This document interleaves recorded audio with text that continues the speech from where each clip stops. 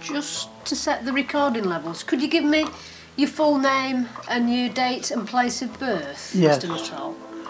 Cecil Nuttall, 429 Manchester Road, Kearsley. What else do you want to know? Right, you ready? Yep. Okay, great. So, interview shot one. I've learned that I was actually wrong originally.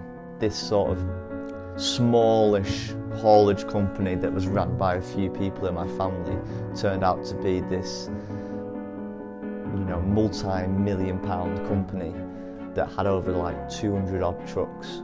But at that moment it was weird because I saw this height and this rise and kind of this glory of like my, my, my great uncles you know, wh- where's that gone? Do you know what I mean? Because I always saw myself as, you know, uh, from a kid from like a market trading family or something like that. It's like, where's that gone?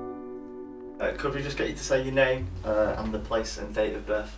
William Nuttall, Kathleen Richardson. date of birth is the 18th of February 1941. And I was born in uh, Clifton. in Moss Lane. So, as someone who just worked there and wasn't kind of at the, the, the, the head of it, like your, your dad and Ken and my- my granddad Tessel, when did you first kind of uh, cotton on and hear or hear being spoken about the company being made public? When it happened.